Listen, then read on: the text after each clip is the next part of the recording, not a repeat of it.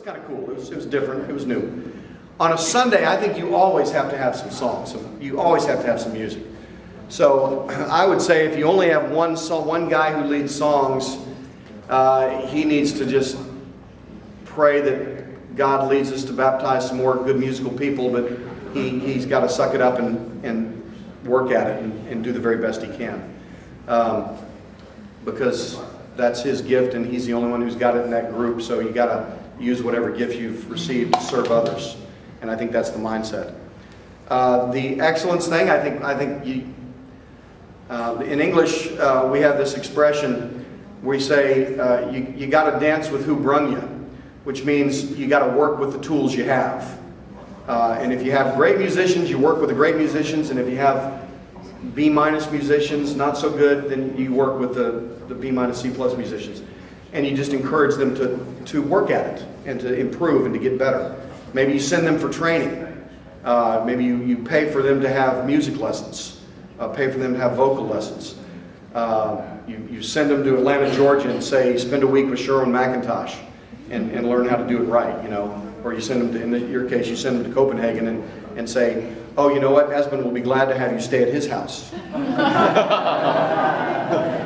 that's one month. Uh, one month at a time, yes. So that's, that's how I would do that, yes. Sir. I, I just really wanted to uh, hear a little bit more about feedback. What's, uh, if you could give me an example, uh, an experience of yours, or just give me um, an advice how to encourage feedback. Because um, I think in our church, uh, when we get feedback, it's always always nice. At least that's what I, I experienced. It's always always nice. The feedback positive. Is okay. Positive. If that's something good. goes, yeah, but if something goes wrong, it's it's hard. Always being negative. it's yes. hard to encourage people to be objective. Just, sure, sure. Just, um, well, what, one thing we do, we do this about once a year, is we take a poll. Uh, we, we write a questionnaire. We do a questionnaire and we put it out to the church and we say things like, uh, what subjects would you like us to cover in our teaching in 2014? Uh, comment about the worship. What do you like about the worship? What do you not like about the worship? Uh, do we use too much band, not enough band? Do you want uh, to see notes on a page or do you like the lyrics on the screen? So we'll, we'll ask those questions about once a year and we'll do it anonymously. Uh, no, they don't have to sign their name to it so they can say, I think your band stinks, and I hope you never sing again. Uh, if that's what they feel, they can say that, and you won't, you know, get a gun and go shoot them um, because you don't know who wrote it. So, uh, you know, but I think we need to, I think we need to invite, we need to invite people to do that, and I think the best way to do it is in writing. But uh, but you can also encourage, you know, if a person comes to you and they seem like they have a feeling, you can just ask them, hey, tell me what you feel about the worship at church. Do you like it? Do you not like it? What do you think we could do better? What would meet your need better? Um, you know, like we have some people in our church that love four-part a cappella harmony. They just love it. I could live without it. I like it, but I, I mean, I did it for 35 years, and so I'm, I'm used to it, and I know it, and, and I love it when the church does it. But I also love contemporary Christian. I love gospel music, dancing, and rowdy, and trumpets. And we, we did this song last week. It's a song by an artist named Ron Kenoly. It's a song called Ancient of Days. And it's a great song. Uh, but there's one place where there's this incredibly rowdy horn part. And we just baptized a professional trumpet player. Uh, I mean, a professional trombone player. And then we have another trombone player. So we had the keyboard playing trumpet sound, a synthesizer, and then we had these two guys on, on trombones. The church went nuts. They were, yeah! You know, they were so fired up, you know, praise him with the horns, great. And so, uh, and so, you know, you just try different things and then you talk to people and find out what they, what they like and what works for them and what doesn't. And sometimes you can tell by the feedback you're getting in the service. Like if everybody's sitting there going, that's probably a good sign they're not getting into it. Um, so, you know, you can learn that way too. Uh, I wonder, how long do you need to prepare your draft version draft set for Sunday because as I understand that like good good sermon needs good preparation, also good worship service needs good preparation, but I wonder how, how long do you need to do it? I mean, when I first started really paying attention to it, I would say I spent a good four hours laboring over it. I've been doing them now for 10 years. I can, I can knock out a, a good solid first draft, I can knock out in about 20 minutes. But then even then, I spend, I'll spend 20 minutes today and then I'll go back and I'll spend another 15 minutes tomorrow. And then on Tuesday, I'll spend another 15 minutes and I'll start thinking through every transition. Then of course, I'll start getting feedback from my group, what they like, what they suggest. Somebody will tell me, oh, we just did that song three weeks ago. And I'll say, oh yeah, we did. So I'll choose another song. So I would say that, you know, probably by the time we get to the finished product, which may not happen till as late as Saturday, by the time we get to that finished product, I'd say we've spent a couple hours, three, four hours maybe, uh, really laboring through it. It takes some time. But if you have good minds working on it together, it, it's not all on one person, you know. Esben? Yeah. Uh, oh, you need to have the mic. Thank you. Um, so, Yeah. Um, so how would you go about uh, getting the leadership on board? You started this uh, this last session talking about uh, Being unified. unified with the leadership, um, and uh, uh, I've, I've, I've been trying together with the, the, the worship team back in Copenhagen to to try to try to uh, Yeah, to, um, to try to uh, uh, revive, to try to get people to actually worship. Uh, but one of the problems we're, we're facing is that uh, very often the, the leadership uh, tends to, to not plan very much in advance. Uh, very often when we when, when I want to plan a, a, a worship service, then on Monday, usually everything I can be told is which two chapters of Acts is going to be the theme scriptures for this week. Uh, and I don't know, I mean, I don't know which part they're going to choose to preach from. I don't know, you know. Um, and, and another thing is that, that some, some of the people who are preaching uh, tend to preach for a very long time, up to 45 minutes, without being very skilled speakers. So, and, and if anything, anything can kill a worship Yeah. service flow, it's a, an, an unskilled speaker just dragging out for 45 minutes. So, so we really want to get the worship, to, to get the, the, the leadership on board to revive worship. How would you go about doing that? Um, well, two, two things I would say is, again, most ministers, I'll pick my words carefully, are woefully undereducated on this particular subject. And so I think you need to buy them a book. Buy my book, there's lots of good books out there. Uh, but you need to get a book in their hands about worship and, and say maybe, maybe everybody together is going to read. Uh, I, have a, I have a reading list on my webpage, uh, lifechangingworship.com.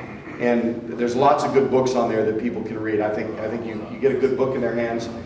Or and you say, hey, can, or you just initiate and you say, hey, can we have a, can you and I go to lunch this week and let me share with you some of the things that I learned in Budapest and, and let's have a conversation about how we can all work together to take the worship higher and do better.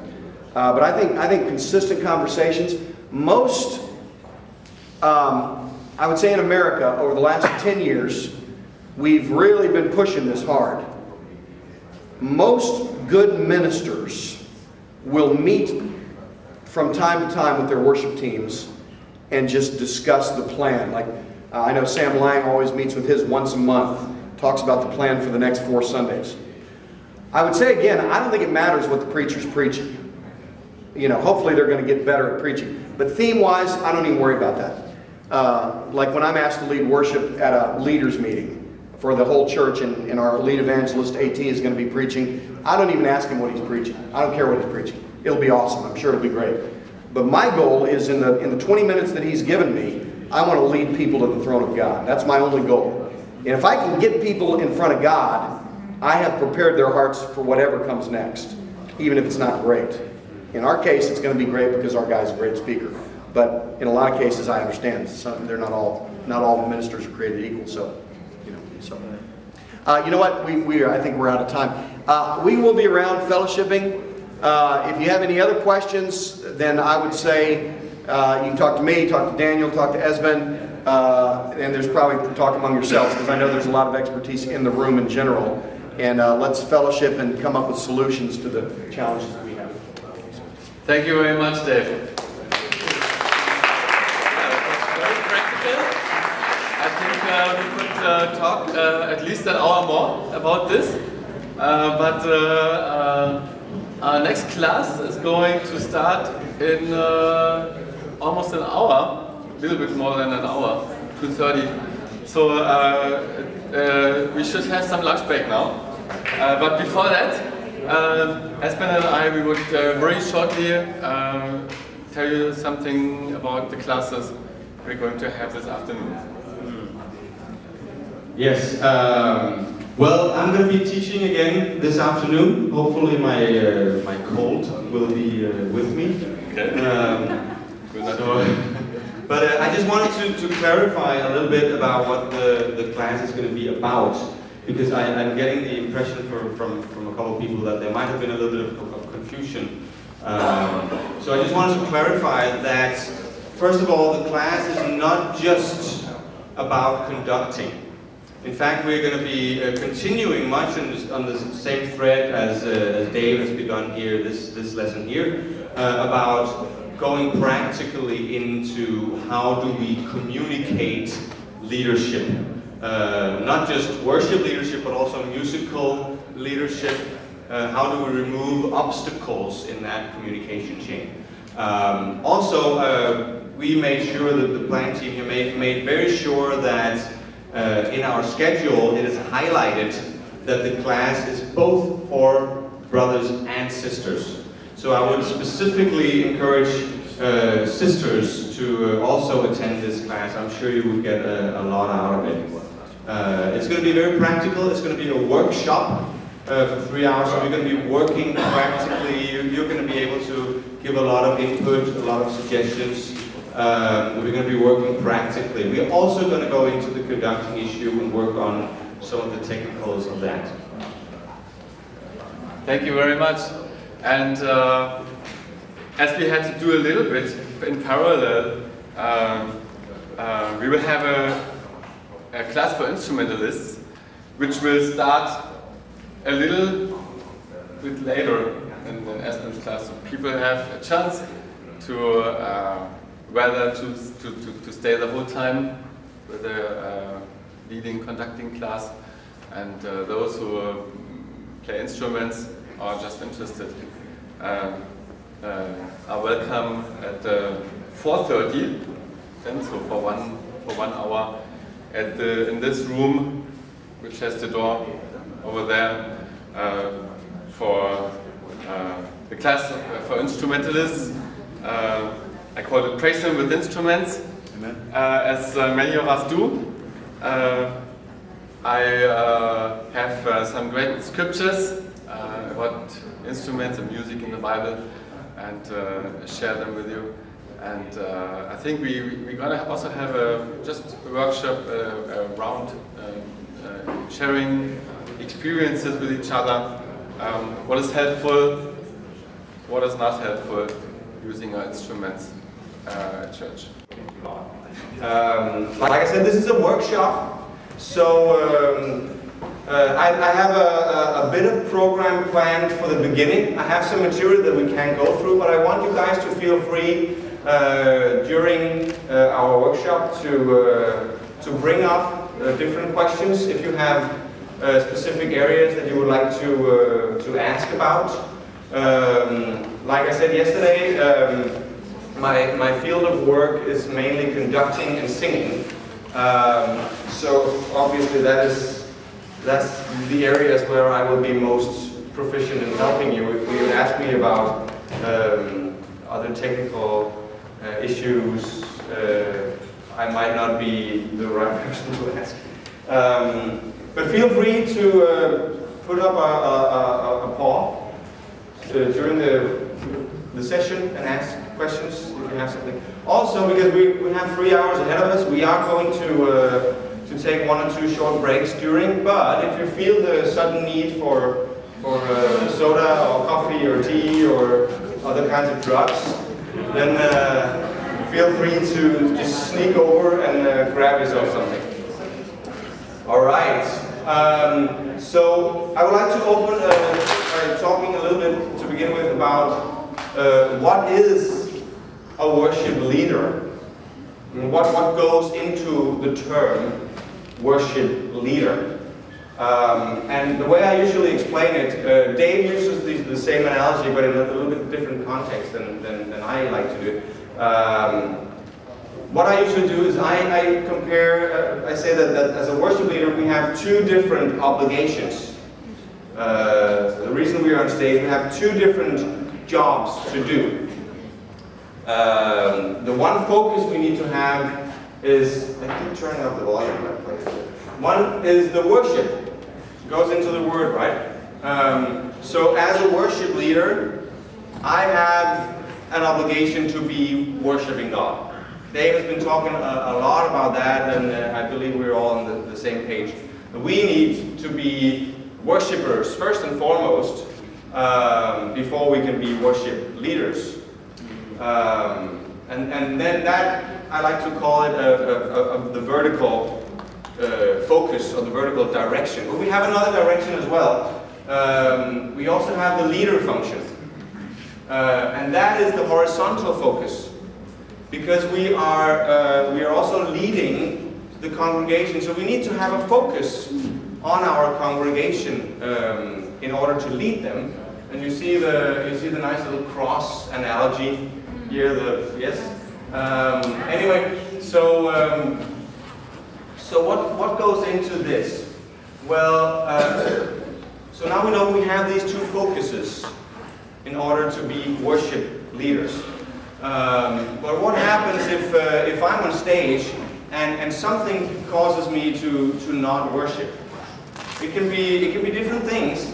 It can be uh, either I'm too timid, I, I don't really, I, I become too self-aware, think too much about, oh, what will people think if I start raising my hands? Or, I mean, we live in a, a culture where, um, where it's not viewed upon as, as a positive thing to stand out.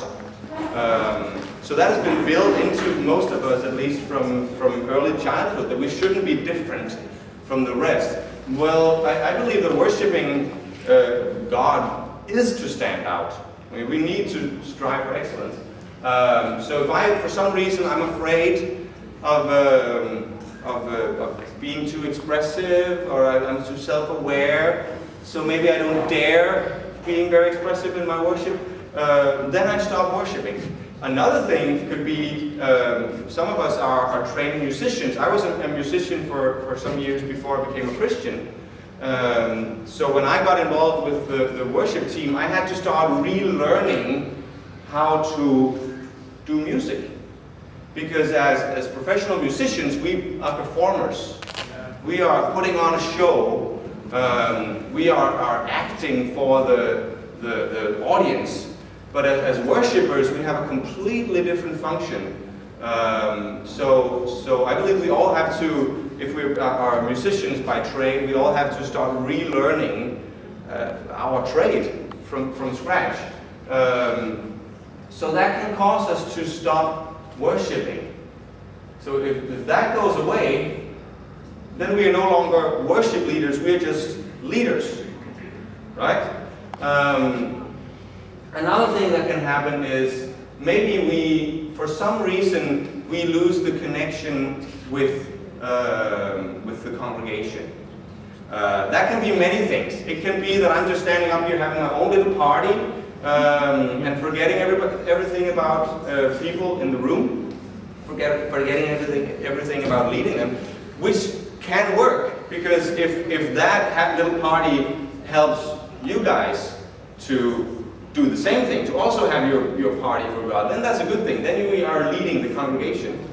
But if we, in that process, if we lose the congregation, then we are no longer, we are no longer, uh, we no, no, no, longer have the horizontal thing.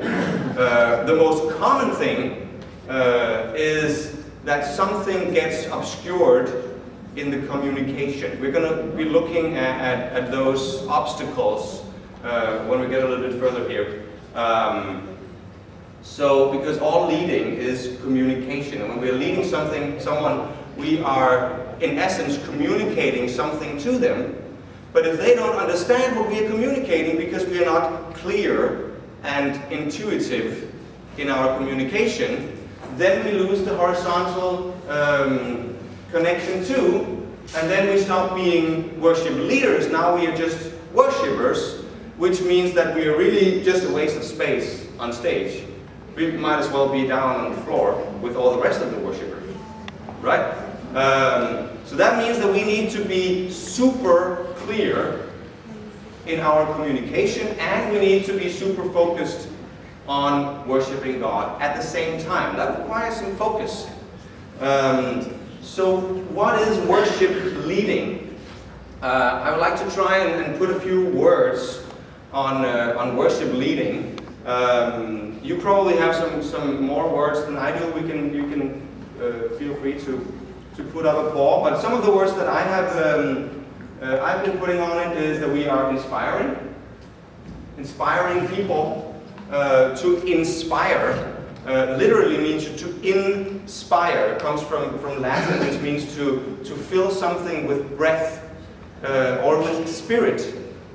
Um, and so we're, we're literally filling each other with, with, with spirit um, when we are inspiring each other. And I believe the Bible calls us to do that. Another thing we do, we are encouraging, we're encouraging uh, the congregation to, to do the same as we do. We're encouraging people to worship God. And we have that in, in for example, in, in Hebrews 3.13, encourage one another daily. So we're all called to encourage. Um, we're being an example. Paul calls Timothy to be an example. So we are presenting an example for the congregation in, in how uh, how to worship God. Um, we're also spurring one another on. You know, come on, you know, don't you want to go to that land? Um, we, we're spurring each other on, giving each other energy. Come on, this is also a biblical thing. We're all called to do that. Um, and we're going in front. Um, I would like to uh, I would like to read a scripture actually, uh, because if you look at the Old Testament, the whole Old Testament, uh, you see the leaders uh, in, in through, throughout Israel's history. When they went out to battle, the leader, uh, and usually also the worship team, were in front of the army. Um, except when you look at, for example, a guy like David. In his youth, he was the, the, the leader who was in front and out with his, his army. But then when he got older and he got his castle and, and all his wives and everything, he sent out um, the, the, the, army to battle, but he stayed home. And, and what happened? Well, he committed adultery with Bathsheba, and he had uh, her husband killed to cover over his sin. So he was probably not in a very good spiritual place at that time. Maybe he should have gone out in front, uh, like all the rest of the leaders. So um, I would like to um, uh, I would like to read a scripture in a few moment, uh, moments, um, but first, uh, first I would like to just uh, look at these five things. Uh, you, you probably have more words, uh, but I think what's common for these five things is that this goes for any Christian, not just for worship leaders or, or preachers or whoever else is, is, is performing some sort of leadership service. This goes for any Christian. We are all called to do this, whether we are brothers or sisters or drummers or lead singers uh, or part singers or whatever we're doing. There's a hand down there, yeah? Yes, uh, I hope it's not an unnecessary. My question is that uh, uh here in Budapest uh, we uh, use um, camera to show the, the lyrics for the, for the congregation. To show what, sorry? The, show the lyrics yeah. And so uh, people don't uh, look at us, they look at the right. there. Mm -hmm. So we don't have uh, a connection with the, with the, with the, with the church. So what do you suggest? What, what shall we do? Yeah, I would like to actually, uh, I would like to actually park that question for a little bit later. Yeah. Um, so please remember it. We'll get back to it uh, once we get to the obstacles in communication. Um, so I'll get back to you, promise. Yeah. Um, the, the, the, the bottom line for this is that all of this requires communication. Just like you're saying, we need to communicate um, to be able to do these things. Otherwise, we're not reaching anybody. We're not performing our duties. Um, let's just for a second turn to uh, Second Chronicles, uh, chapter 20. And I'm having my traveling Bible here, which is very small, so it's very small letters for me, but I'll try to read it anyway. All right. And I put it up on screen also for you. This is even smaller. So, in chapter 20 it says here, this is about um, uh, Jehoshaphat, uh, and he's on his way uh, to battle. And it says here, early in the morning, they left for the desert of Tekoa. As they set out, Jehoshaphat stood and said, Listen to me, Judah and people of Jerusalem. Have faith in the Lord your God. This is a different translation than that one up there. I can see that. Have faith in the Lord of God, uh, Lord your God, and you will be upheld. Have faith in his prophets, and you will be successful. And then it says, after consulting the people, Jehoshaphat appointed men to sing to the Lord and to praise him for the splendor of his holiness. To sing and praise, right? Um, as they went out ahead of the army. And this, this translation actually says that he appointed some to praise the splendor of his holiness. And then when they went out, in front of the armed forces, this is the worshipers he's talking about. They were singing, Give thanks to the Lord, for his faithful love endures forever. And the moment they began their shouts and praises, the Lord sent an ambush against the Ammonites, Moabites, and the inhabitants of Mount Seir, who came to fight against Judah, and they were defeated. So the leader goes in front of the battle. And when we do that, it says here that, that God was with them, right? Um, I'd like to show you um, a little picture I found on uh, Google. Um, uh, and it illustrates, uh, it illustrates the concept of leading um, the way that I, I believe that the Bible teaches us to lead. It looks like this. So up, up in the, in the top you have the boss who is sitting there and he's going, go that way, pull me, pull me, right? Uh, this is the guy with the whip. Um, that's the boss. And then underneath you have the leader who's going in front, inspiring the rest to pull with him. So let's go back to, to what is worship leading. Well, I believe, um, this is my firm conviction that everybody on stage, whether you are the, the lead singer in front or you're the part singer on the side or you're the guy hiding behind the drum kit, maybe even in a cage or something, everybody on stage is a worship leader. Um, and then yesterday we had a, a, question about the sisters. Uh, because I know that there are some people, in, especially uh, in, in, our movement, who have uh, some reservations about sisters leading. So what about the sisters? What about 1 Timothy 2.12? And uh, first let me say, I know that there are different uh, interpretations of this. There are uh, different opinions, different convictions. I would like to just present my conviction, and then you can you can take it or you can leave it. Um, you can argue with me. Um, I believe I have, have studied this, this to uh, uh quite a bit to reach the, the uh, conclusions that I have reached, but I, I definitely don't know everything. So, uh, but let's look a little bit at 1 Timothy 2.12. Um, yeah, but here, if it would react to my remote. It says, Paul says here to Timothy, I do not allow a woman to teach or to have authority over a man. Instead, she is to be silent. Um, now here is First of all, my conviction about this, um, the way I read 1st and 2nd Timothy, is that Paul is talking specifically, the way I read those two letters, about biblical authority. And Timothy, um, Timothy, Timothy was an evangelist. Um, so Paul is talking to him about how to be an evangelist.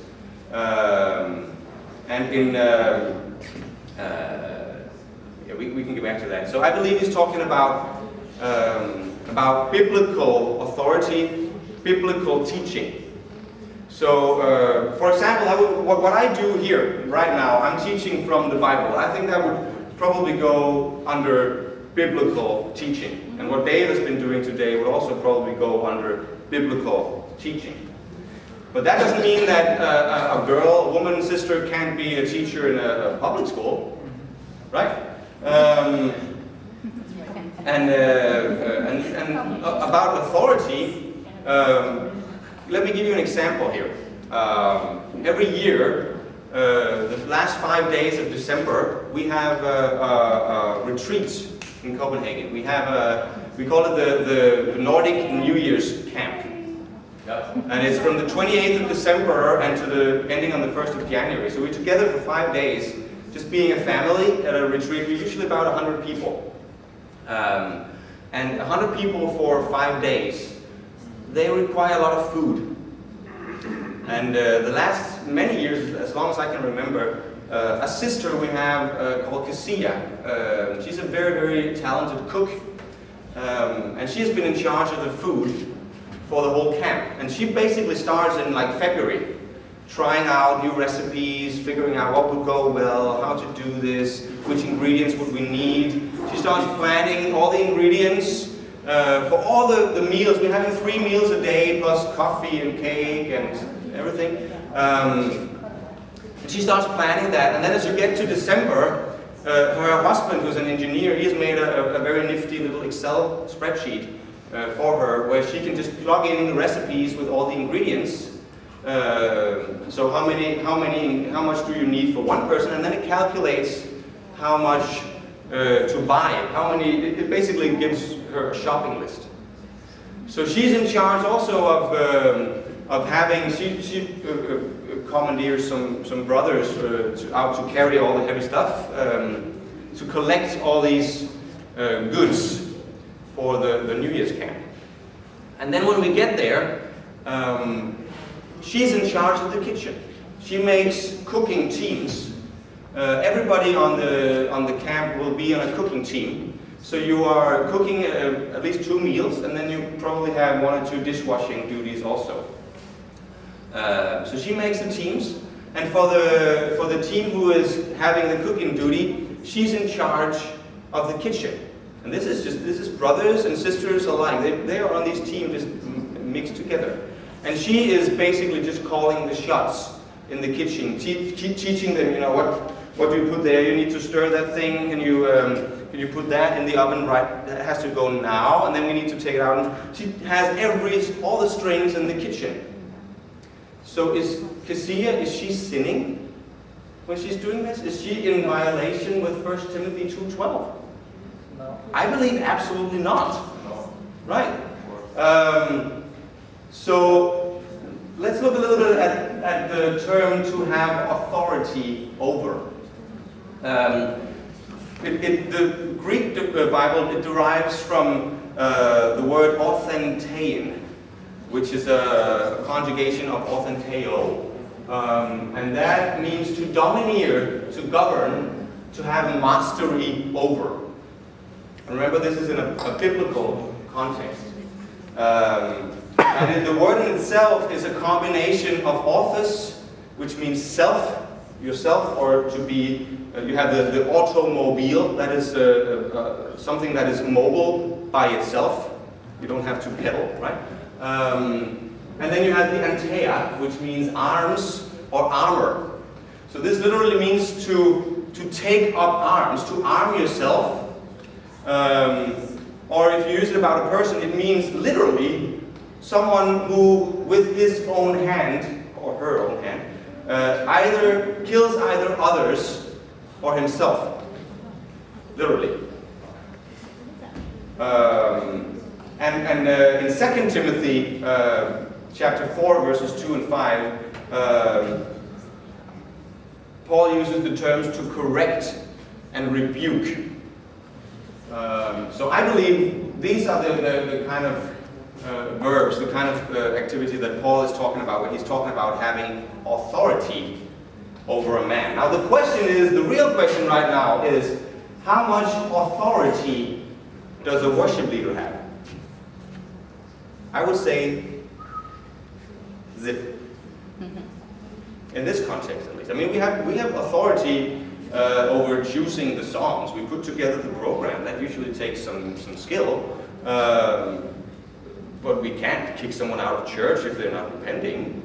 That would be the, the church leader who would do that, right? Um, so I believe, this is my convictions again, you, you, you may have another conviction, uh, but I believe that 2 Timothy, um, uh, sorry, 1 Timothy uh, 2.12, in my opinion, does not have anything to do with worship.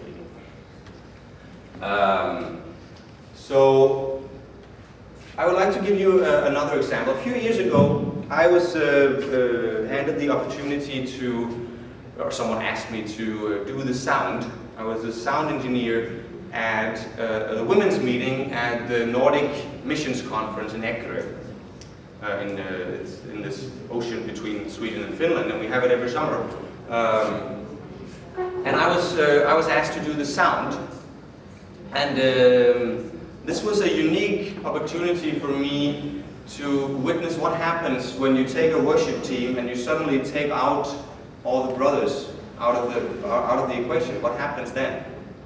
Um, because what I saw was you had a stage with, with these very, very talented women, talented singers, uh, great hearts for God, very enthusiastic, but they had no clue what to do.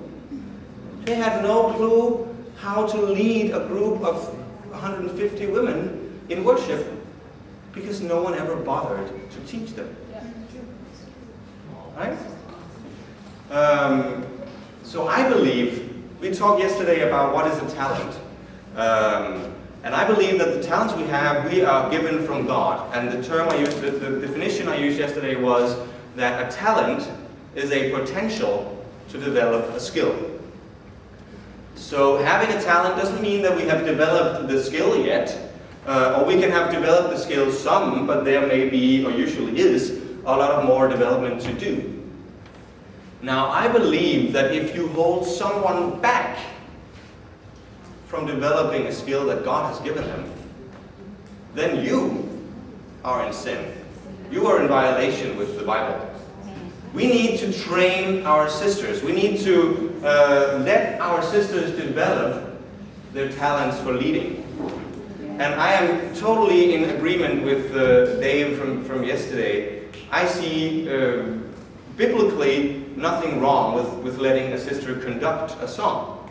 Especially, I mean, many of, of our churches in Europe, we are 50 people or less. We have 41 people back in, uh, 41 disciples back in, in Denmark. Uh, in Denmark, we have two, two of us are, are, working with music professionally. So, so, but, but many churches, uh, or in society anyway, really, musical talent is not just growing on trees. So we need, we need to use all the talents that we have. And, and if your church, if the strongest conductor in your church is a woman, a sister, why not let her conduct? I believe that, that it is unbiblical to hold someone back from, from using their talent. Um, and we need to train our sisters. But we need to deal, that, that there will be some obstacles. Um, we can't just, uh, without warning, just throw a, a sister up on stage. Because like I said, some have different opinions about this subject. Some have, have very, very strong or, or deep felt opinions about uh, sisters conducting. Um, so I believe there's, there's an obstacle there to be dealt with. Uh, in 1 Corinthians uh, 8 9, Paul is talking about our, our rights, the rights that we've been given, uh, in this case specifically about sacrificial meat, but I think this goes for this also. He says, But be careful that this right of yours in no way becomes a stumbling block to the weak. So if, if, we, if we throw a, a, sister up to conduct a song and we have a few brothers uh, in, in, the congregation who maybe take that, uh, take that hard, they get a, a, a bad, um, what's the word, uh, um, attitude. Uh, they get a bad attitude at it, or they, they have a bad conscience maybe being, being led, what they feel is being led by, by a woman. We need to deal with that first. Uh, and if we know we have someone there. And then before we try to put a, a woman on stage to conduct, I believe we need to, to take those people aside and, and, and teach them. Um, to teach them that there is nothing biblically wrong with having a woman conducting because in essence it is not the kind of leading Paul is talking about. All right. Um, so let's get a little bit back to the, the actual leading. Um, I just wanted to deal with that first, and, and uh, because, because, like I said earlier, we had to actually emphasize in the program that this class is both for brothers and sisters, uh, because it is so ingrained in us uh, that, that, when we see something about leading, then, then some people automatically assume, well, this is not for sisters. I'll just go have lunch or have coffee or something instead. Um, so we had to really, really make sure that we encouraged you sisters to, to come here. And if you sisters are, are back home and you feel that you are not being trained, then I believe that you, uh, you uh, need to ask for it. Ask your, your worship leader or your evangelist or whatever, uh, talk to them and ask for training. Maybe not for, for, for just for, for leading a song, but I believe that you need those skills at least, if nothing else, then to when, when you are faced in a situation like the one I faced in Ecuador a couple of years ago, and you are to lead a, a women's meeting. You need to have those skills. We, we brothers, we don't see that because we don't go to the women's meetings. Yeah. Uh, so we don't see what happens when we, when we are not there. We just assume that everything is okay. Um, so there's an awareness and there's some teaching that needs to happen. All right. Um, leading requires communication. Um, Here's a, another little quote from Paul. This is from when he's talking about speaking in tongues. Uh, he had this problem uh, in the church of, of Corinth that, that some people would speak in tongues and nobody would understand what they were saying. Uh, there, are, there are some churches uh, in, in, in, the world that still have this problem. Um, and he, he says about this, if the trumpet does not sound a clear call, who will get ready for battle? In other words, when we are communicating something, we need to be clear. If I want to, uh, if I want to say something to uh, to our, what, what's your name down there? Joel. Sorry? Joel. Joel. Joel. Okay. If I want to say something important to you, and, I, and just imagine that I'm not wearing a mic, maybe I'm just you know, sitting down. Uh, and we have a room full of people talking, and you're in the other side of the room. And I want to say something really, really important. Hey, uh, brother, your, uh, your, your plane is two hours early. You need to be at the airport two hours early. Um, then, if because of the noise or because of the distance, but then if he doesn't understand what I'm saying, if he doesn't hear me, or maybe he doesn't, uh, maybe he doesn't see me speaking to him or hear me speaking to him at all, he's not even aware, then he gets to the airport two hours late, and his plane is gone, and he comes back and says, hey, Esben, why didn't you tell me? You knew that my plane was two hours late, uh, two hours early. Why didn't you tell me? And I go, well, I did tell you. Well, did I really? Whose fault was it? Did I really tell him if I didn't make sure that he actually understood the language I was communicating to him? Hmm? Or, or another example, um, most of my notes for this, this class I did in Danish. I could have chosen to do this class in Danish. Right? You, you, Danish, yeah. You probably wouldn't have understood a lot about a lot about what I, I mean. What I would be saying would still be the same thing. So I still told you, right? Men jeg ville være rimelig dum, hvis jeg stillede mig herop og snakkede på dansk. Og så tror I forstod, hvad jeg sagde, ikke? What I what I said, exactly. What I said was I would be, actually, it would be quite stupid if I got up here and I spoke to you in Danish and assumed that you would get just a clue about what I was saying. The same thing goes when we're leading. We need to have a clear language, verbally or non-verbally. A language that is so intuitive that people understand what we are communicating. Otherwise, we're not communicating at all. So let's just go back to, um, to our, uh, our slide about worship leading. Um, so my first point was that everyone on stage is a worship leader. And if, if what we are communicating from stage is not clear, then we are not communicating, communicating at all, which means that we are not leading at all. Uh, Dave used a, a, good example yesterday, and I actually intended to uh, use the same example, but you, you stole it from me, bro. Um, when uh, I have another function back in Copenhagen, when we have foreign disciples coming to Copenhagen, I'm usually uh, the guy who's showing people around town. Um, and so I have a, a, couple places that I have, have read a few things about. I can, can tell a few interesting facts. I have a couple routes. I know how to get there, you know, which way to go. Um, so to show people around, I need, first of all, I need to know where we're going. I need to know where are we going. This doesn't just, just go for worship. I mean, David's telling us, yeah, we're going in front of the, the, the, the throne of God. Yes, but which direction do we need to go to get there? Right? Um, it could be musically. Let's say we're doing a song that needs to be quiet and intimate. Then I need to communicate quiet and intimate because quiet and intimate is where we are going. So how do I communicate that?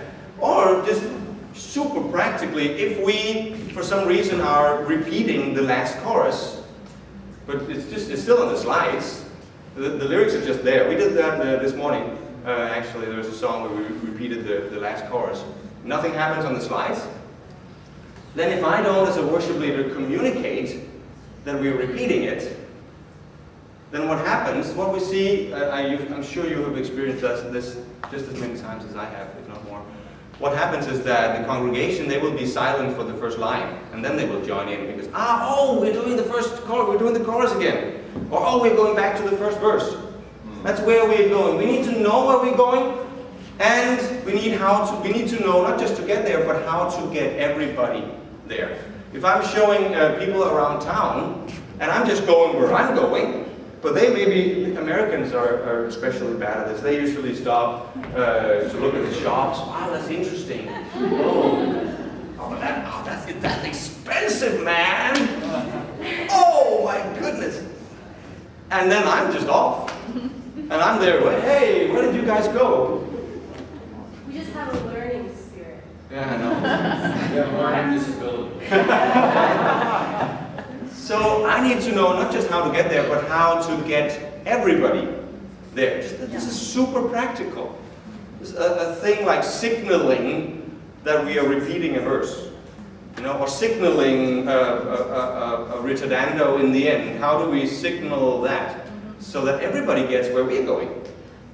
Uh, I have a, brother back in Copenhagen. Uh, he's a, human resources specialist, and one of the things he likes to say is, uh, is that if you don't know where you're going, you're pretty sure not to get there. Yeah. So let, us uh, I've tried to, to define a few uh, overall principles. We had yesterday we had the overall principles of healthy singing. So I've tried to do the same with, uh, with leading. Um, and the first principle I've defined is that leading must be intuitive. When we're leading from stage, people don't have very much time to stand and think about what's the guy mean, what does that guy mean? You know, we, we as worship leaders, we can do that when we're sitting and we're planning the set. Um, we can, Oh, so you want to do the, the, the first verse after the last chorus again. Ah, I see. But, uh, but how do we get, oh, maybe there's a key change. We, we have the time to try and sit and understand these things. The congregation don't. They have to understand it instantly. And here's my second principle. Do not disturb the congregation. This is actually a principle that I outright stole from uh, my old conducting teacher when I was taking my conducting education. He used to say, do not disturb the musicians while they are playing.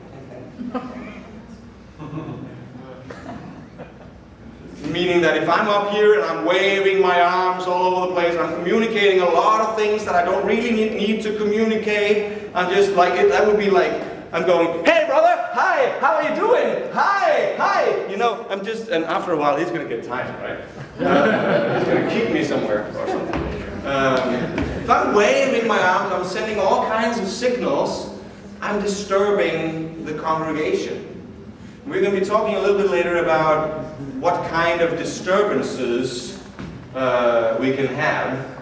But the point is to get rid of the disturbances, the, the, all, all the things that will take the, the congregation's attention away from what they need to have their attention on. Uh, and we're also going to be talking about how to remove the obstacles.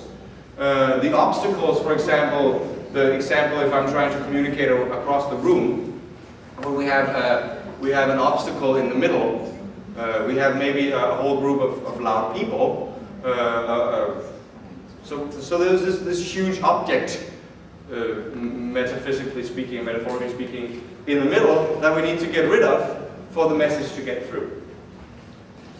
So, what are some disturbances or obstacles that we may be facing? Now this is where I'm going to open up for, um, uh, for input. If you uh, have any suggestions, what kind of what kind of obstacles or what kind of disturbances do we um, do we face when we are leading? Anyone? There's a hand there. Yeah. People. People were walking in the room, doesn't matter whatever, going to the toilet, going to the preacher with the microphone, um, standing up, sitting down, uh, running around, um, especially at quiet songs. So you're talking about uh, the congregation being too busy, or some people being too busy around the room while something's going on. Yeah, that's a good one. Um, let's call that uh, busy people. Busy. I hope you can read my, uh, my letter here. So how do we deal with that? Any suggestions? How do we deal with people running around? Yeah? So uh, there was a time uh, when in our congregation this was uh, practice and uh, we had uh, very strong teachings about and, and we removed the, the cafe automats and, and, and such things and the church has been reviewed those times uh, for, for, for not, not being and not, not listening to the, to the preaching. Mm -hmm. That's what we do. Yeah, that's a good suggestion. Anyone else? Yeah, Alicia? Uh, five minute warning. Five minute warning, yeah, good one. Uh, yeah, hand there. Um, one thing is when you, um, I see it myself, when I'm leading a song, and someone is coming late into the room, I dare not to look there because everybody else sees my eyes and when I when they see my eyes going wherever then 10 heads are turning also there. Mm -hmm. So you're talking about diverting people's attention from what's going on, yeah?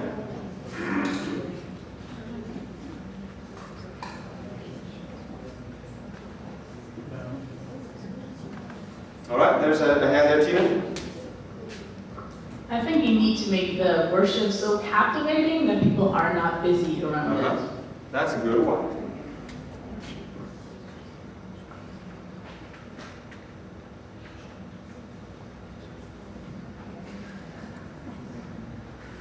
It goes a little bit in with the, the one before, right?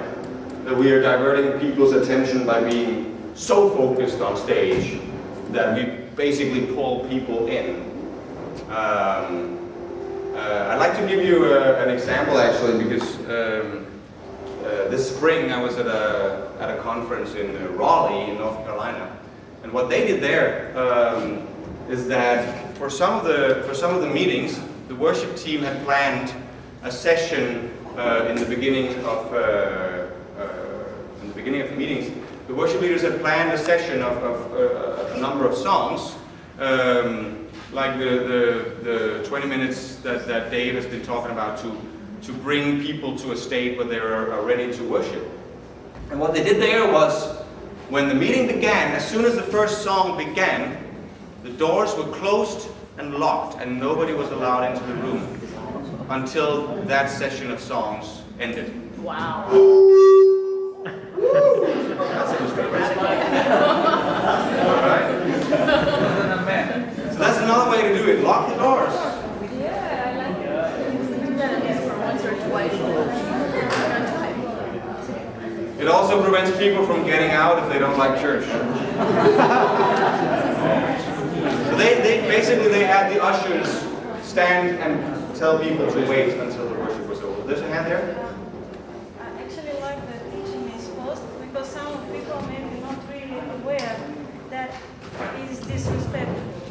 They might, uh, I think that the locking door and everything is, uh, uh, is good, but I would prefer that first we try to talk to people. Uh-huh. They might, it's just different culture. Some people so into their freedom to do whenever they feel at the moment. They just don't think of others. Right. And uh, a different culture. Some people opposite. When they really need to go, it's okay for them to go. It's not good if someone has really a health problem and uh, keep sitting. Just need to, to show, if you really need, this is way to you for, to go, not that way. Just please. Uh, Yeah, and if you have a problem like that, maybe you shouldn't sit in the middle of all the rows so that everybody has to stand up when you need to go Can you out. jump to see uh, your baby or whatever? Yeah. It's kind of. Um, I think you're, you're absolutely right. I think, personally, I think there is nothing wrong with stopping a song. I think you- you mentioned it yesterday, right, Dave? Or was it today? Uh, stopping a song and basically saying, hey, hey guys, we're worshiping God here.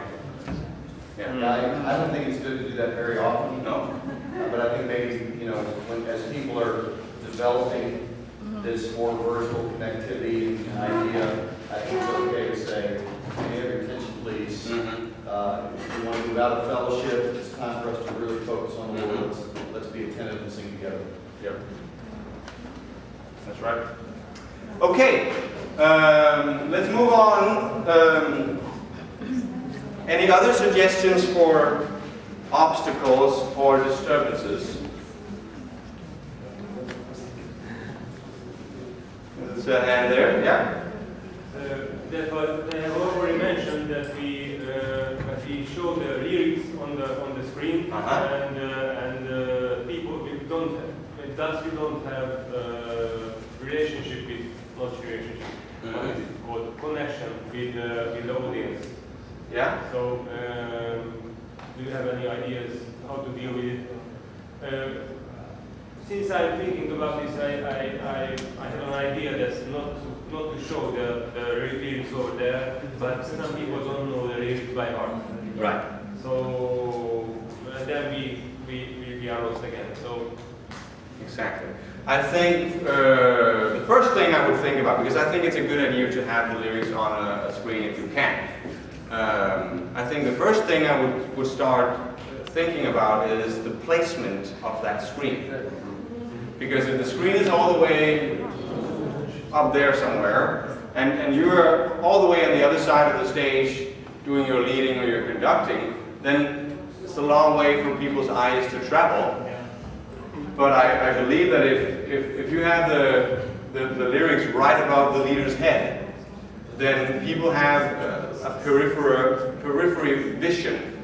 It's the same thing that happens in a symphony orchestra when you have the, the people, the, the musicians they're looking at their, their sheet music, they're reading the music, but they're catching the conductor's movements out of the corner of their eye. Uh, and this is still possible.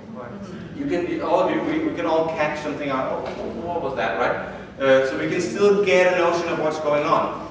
Of course, this uh, this poses a, a requirement to the person who is leading that he is so clear that um, that even when it, when the leading is just perceived out of the corner of the eye, um, then it is still understood the way it's intended.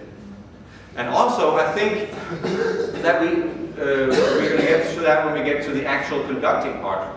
Uh, but one of the, the basic principles of conducting um, is, the, is the don't disturb the musicians while you're playing principle. Um, and, and what it basically means is that we only need to conduct what needs conducting. It's very, very often that I, I see worship leaders uh, go up um, and they go, soon and very soon we are going to see the King. Right? They're waving their arms around to a rhythmical song where you basically just need to go soon and very soon and you just have the rhythm in your body. Maybe you have a band doing the rhythm. You don't need to be waving your arms. You're just dragging people's attention away. Right?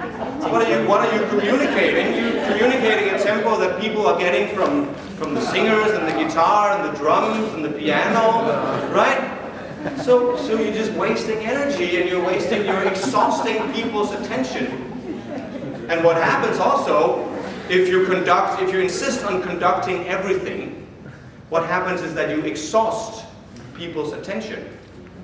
Because very, very quickly, people learn that they're not really getting anything from these movements because they're not communicating anything. So they, they ignore them, start ignoring them. So what happens when you actually do need to conduct something?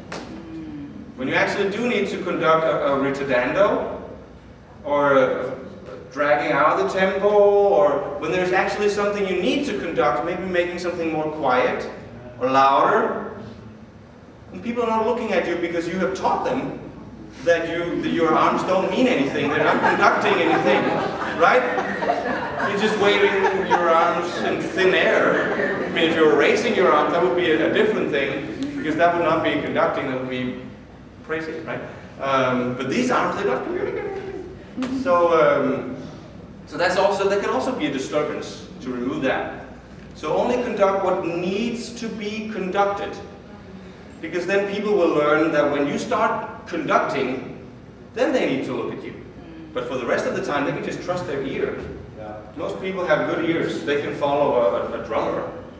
Right? You just need a tempo and then they go. Most musicians can just be counted in and then they just go. They keep the tempo. There was a hand there. Um, speaking of communicating precisely. I think that's also something that the the song leaders, the side singers, kind of need to learn. Absolutely. Because I often see um, people clapping, or then someone claps and then someone snaps their hand, and it's not clear which one it is. And then I try to, like at home, I try to tell the side singers, you need to make your movements bigger. Because if you clap like this, no one's going to see it from up there. Mm-hmm. And especially if you have a music stand in front of you, then people won't even be able to see your hand movements. Right. And I think the song leaders have learned to make bigger movements, and at least I think our song leaders are doing a good job. But the side singers often don't like be very small movements, and it's mm-hmm. and for me, if I sit in the audience, I sometimes don't even see what they're doing. Mm-hmm. And that kind of disturbs me because then I don't know whether I should be clapping or snipping or snapping or doing whatever, something like that. I'm a, I'm a huge uh, spokesperson for planning those things. plan it ahead. When you're doing the planning for the service, also plan how you're going to build it up. How we're going to have the, the snapping from the, the chorus, maybe on the last word we're, we're going to be clapping, and make sure that everybody on the, the singing team and even the musicians, they know that. Um, so they know exactly when to start. And then when you when you start, like you say, you don't just do like that. You go right, so that everybody knows that now we're going to clap.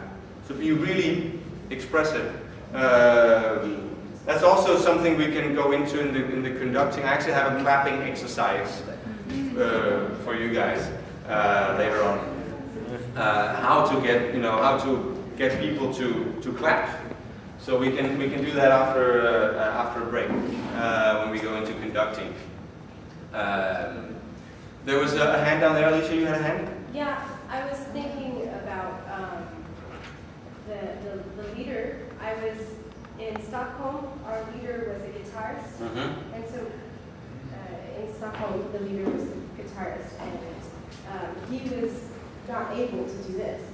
And so we were able to eventually read him just by his, just by one little look in his face. Mhm. And, and everything that he did, all of his body language was able to show, let's get, let's get louder, let's get Yeah. more energized towards the end, or let's calm down a little bit. You know, we would just come a little closer to him. And, and every little thing that he did really helped us to just read all of the body language. Yes. And so it, it's a big uh, signifier that you don't have to be so wide in your hands. Yeah, yeah, absolutely. Yeah. Yeah, I'd like to, um, I would like to, to take this opportunity to just uh, puncture a balloon that some people have, that conducting is just about what your hands are doing. Conducting is everything that your body is doing. Uh, conducting can even be verbal. Uh, you can be shouting ahead, what's the next line going to be? Or you can, you know, like you say, you can just do it with your voice. It's going to be quiet. So you, when you when you lower your voice and you start singing more quietly, uh, then the congregation will most probably also catch that. That is also conducting, because you are, are conducting the music uh, in, in some of the ways that we're going to talk about what conducting is. Um, uh, absolutely. And another thing I know that they do in Stockholm is that they actually have, uh, or used to have, now Christian's moved to, to Copenhagen, but uh, they used to have two leaders.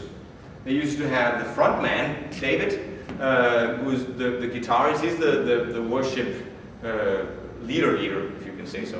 Um, but then Christian, Alicia's husband, was doing the band leading from the piano. So he was leading the band, so he could focus on, on getting the musicians with him. Um, and then, so he just had to follow, follow David. And then David could focus on, on, uh, on the con congregation fully. Doesn't, didn't have to worry too much about what's the, the drummer going to do and what's the other guys going to do. Um, I think that's a very, very good idea if you have that opportunity, if you have an opportunity to have uh, one of the musicians to be the music leader and then have a guy in front who's the, the worship leader leader. Um, I don't know what else to it. Um, so yeah, absolutely. Um, another disturb. Oh, sorry, yeah, you had a hand. Oh, you're first. Okay. Uh, how, how can you make the congregation follow you uh, when you want to make the, the song soft? Uh-huh. I tried this with the, also with the gesture and with the softer voice, but everybody sings loud. Right. So, Uh, well, that's that's. it's, it's like I'm doing. That's that's probably uh, there's probably some reason uh, for not. I mean, it, it can be because the, the congregation is, is just in their own world uh, and they're not following you. Uh, but most likely, most likely it's it's because you can probably be clearer in the way you're communicating. Uh, so we're also going to go into conducting dynamics uh, when we go into the conducting, the actual conducting session, um, which we're going to get to uh, in a little while. Um, so we, yeah, absolutely. Dynamics is, is also one of the things that we're conducting when we're conducting. Um, no, um, I see where you're going, and um, and it, it is possible that that the congregation then needs to to be awoken to the idea because it could be that they, maybe they're not worshiping at all. Maybe they're just belting out lyrics that they don't know anything. You know, they don't think about what they're actually communicating. They're just belting out something they learned by heart but never thought about what they're singing. Uh, I, I think it was a year ago I did, uh, we did a, a, session and I did a, a, two uh, classes back in Copenhagen on, on worship. That was the first, first real step towards trying to get more worship focused in our church. Um, so I did a, a session uh, where I shared, one of the things I shared was, uh, or talked about was the, the, the, the, apologetics that we talked about yesterday, about what all the, the chemicals that gets released in your brain, um, all the things that happen to, um, to your brain when you're singing and when you're singing together. And we looked at the Psalms, and we looked at some scripture about, about what, what worship should be. And what happened was that, that for about three weeks after that, something really dramatic changed in the way that our congregation worshipped. Uh, the first the first Sunday after this this class, one of the brothers pulled me aside and said, "Hey, bro, you know, I was I, I never thought about what these lyrics mean, and this was just such an impacting experience. Thank you, bro." Um, and that that worked for about three weeks and then they started forgetting uh, uh, because then some other teachings came and and um, so so I definitely think that that it would also help to have teaching on, on, on what worship is supposed to be. And, and and just a simple thing like how do you dissect lyrics? How do you interpret them? Um, you can you can easily teach about that. Take some songs with your congregation at, at your midweeks or something and and go over the lyrics with them. Or have um, one of the things that I, am planning to do back in Copenhagen is I would like to do uh, a reading of Amazing Grace. It's like read the lyrics as if it was a poem, because it's actually very strong lyrics. But that's one of the songs, it's, it's probably in, in the, all of the, the Christian world, uh, even, I mean, even including churches that profess to be Christian, this is probably the, the, the world top one hymn being sung all over the world, Amazing Grace. And yet so few people think about what it actually is they're singing. Because it's so used that people just learn it by heart. So they can just, they can do it while they're uh, washing dishes or half asleep, you know. Um, so that they, they don't think about what the lyrics mean. Yep. Just don't call me a wretch. Wrench, maybe.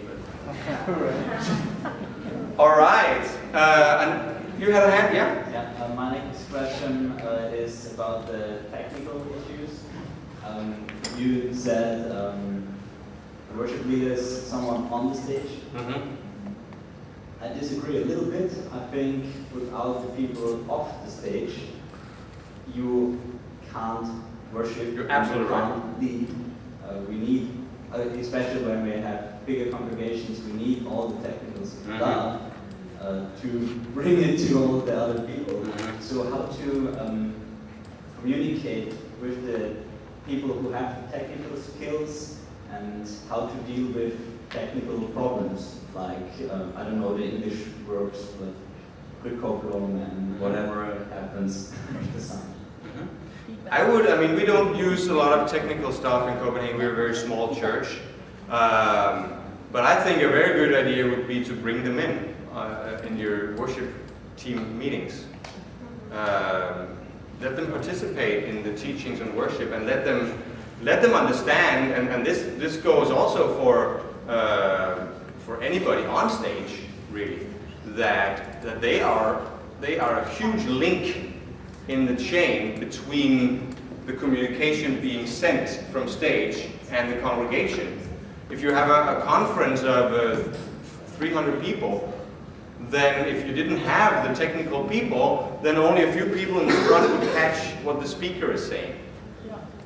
Um, so, so the technical people play a huge role. If you didn't have the, the lighting people, if you have lighting people, I don't have lighting people. If you didn't have the lighting people, people would maybe hear the sound, but they wouldn't see what's going on, right? And the lighting people have, they have a, a, a huge advantage because they have uh, the possibility for uh, affecting people's mood without people even being aware of it. Um, most people, unless you're like literally blind or, or colorblind or something, uh, most people uh, are affected by the color of light.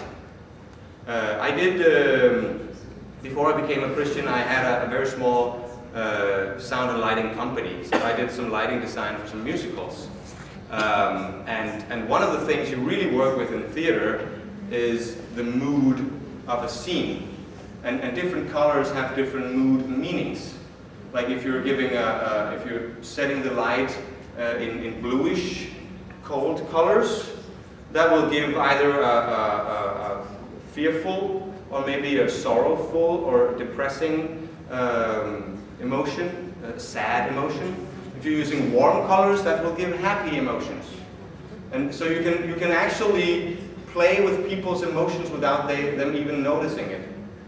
But if the, the, the, technical people, if they, if they don't think of themselves as participating in the leading, then they, they're not even maybe aware of this. Um, so I would definitely bring them into the, the meetings and, and that help them to understand that they are a huge part of the worship ministry. Okay, um, another obstacle that I would like to throw in at this point, this is actually a disturbance. Um, I've been debating with myself a little bit whether to, um, to, to, bring this up with you, but, um, but I think I decided to, so, so I hope you can, can forgive me for just you know, speaking just completely honestly. When I, uh, when I told people back in Copenhagen that I was going to go down here and, and teach, there was uh, a brother who pulled me aside and said, hey, you know, brother, uh, you're, going to, you're going to teach all these worship leaders of Europe.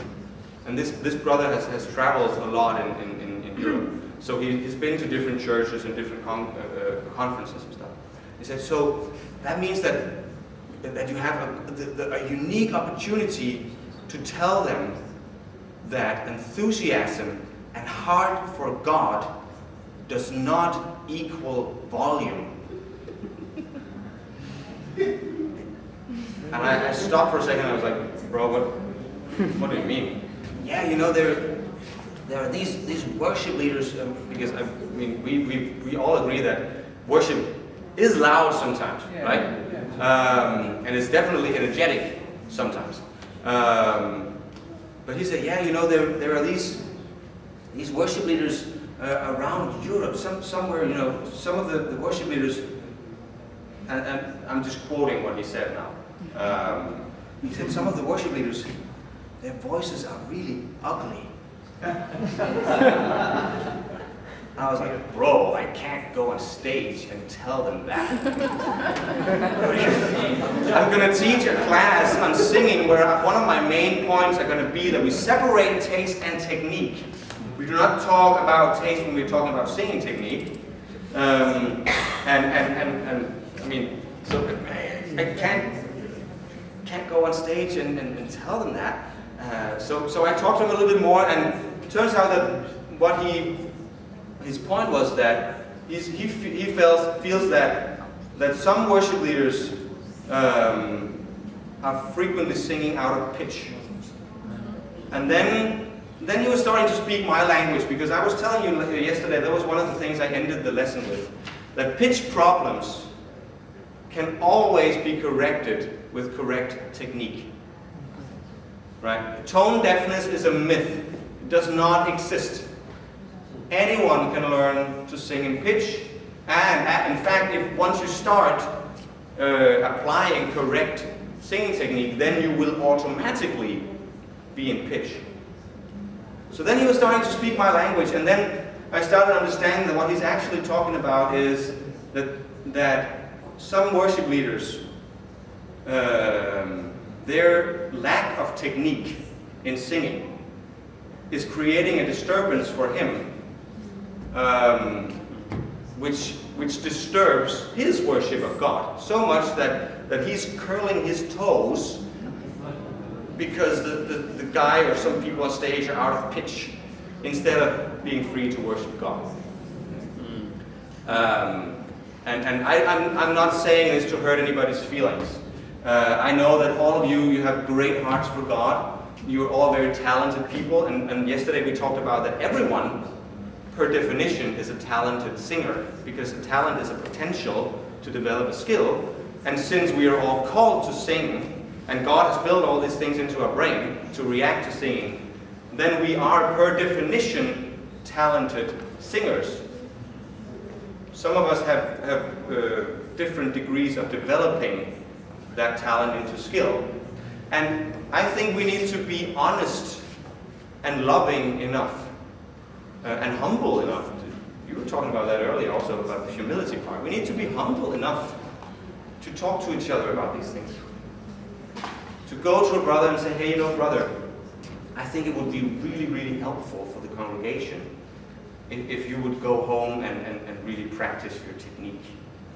Um, or we need to be humble enough for ourselves to go and ask each other, or maybe just the congregation, hey, so, so are there, what, which, which things do you feel that I could improve in my, uh, in my worship leading?